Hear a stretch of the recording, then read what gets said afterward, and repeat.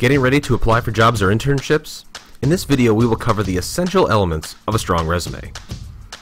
Yale's Office of Career Strategy has worked with thousands of students, including undergrads, graduate students, postdocs, and alums, to ensure their application materials are in tip-top shape before submitting them for jobs and internships. Before we launch into the details of the content and format of strong and effective resumes, let's think like an employer. As an employer, you have a problem. You need employees who can carry out job functions that are critical to your organization's goals, and open positions means money or services lost. You have to sift through hundreds of resumes and have very little time to dedicate to this process. Knowing this, it's important that you, as an applicant, create a document that highlights essential qualifications that align with the industry and tells a story that shows how you're prepared for this role. On average, resumes are reviewed in about 45 seconds. Therefore, the most impressive and necessary elements need to stand out.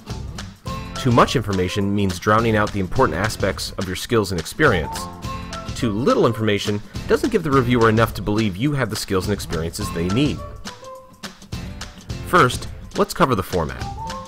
Be consistent with your format. This will help guide your reviewer's eyes to the parts of your resume that they need to see. Feel free to look at templates, but don't get too attached to any one particular look as your content may dictate what makes the most sense for your document. Names of organizations, your role, date ranges, these should all look the same. Your font size should be between 10 to 12 points, and your margins should be no less than half an inch around. Your resume can have delineated sections that highlight the key pieces of your experiences and skills, such as education, experience, leadership and activities, or skills. For those of you with publications or extensive programming or software skills, you may want to include additional sections. Use bold, italics, and bullets to accentuate certain content, but don't overdo it. Finally, leave out any first-person point of view. Next, let's talk about content. This is where you'll spend the most time deciding on how you'll detail your experiences. Use the STAR method to craft your accomplishment statements and identify instances where you implemented skills relevant to the job you're applying for. You will also use the STAR method when you prepare for interviews. Beneath each experience entry, include your accomplishment statements. Each statement starts with an action verb and highlights the most salient points of your past positions.